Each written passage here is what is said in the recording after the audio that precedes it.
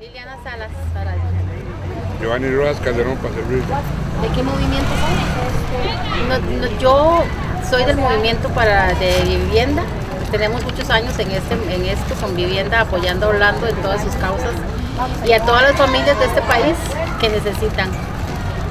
Em, hoy, hoy estamos eh, aquí por una causa y se llama Orlando Barrantes, por un país que tiene que cambiar en este momento su forma de pensar, por esos presos que aunque suene muy duro, pero son presos políticos, llámese Orlando Barrantes, Iván y muchos otros que están acá detrás de todas esas causas, que no es justo que, que podamos, que tengamos que irnos a la calle para protestar por algo que en realidad nos pertenece y que queremos, que no podemos estar tocando puertas y tocando puertas para que nos hagan caso y que la única forma de que nos escuchen ahora es tirándonos a la calle.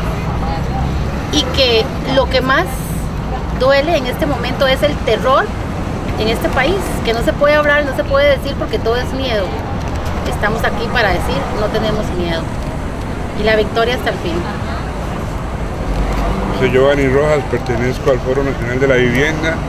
Soy miembro del Comité Ejecutivo del MTC, Movimiento de Trabajadores y Campesinos, tanto en el sector como de Guapiles como en el sector de San José. Igual estamos en la lucha apoyando al compañero Orlando.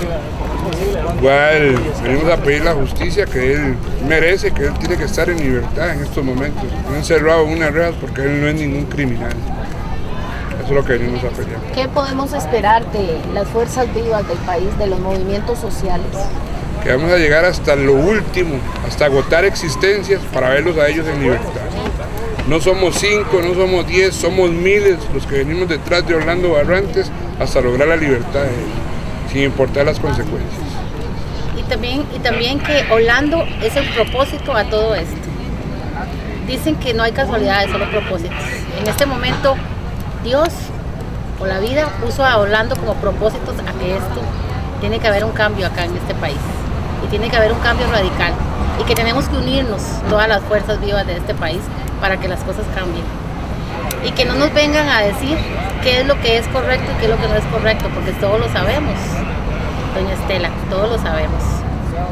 Pero que se respete la ley como tiene que ser, pero sobre todo que se respete al ciudadano costarricense, que es lo que nos está pasando ahorita en este país. Gracias.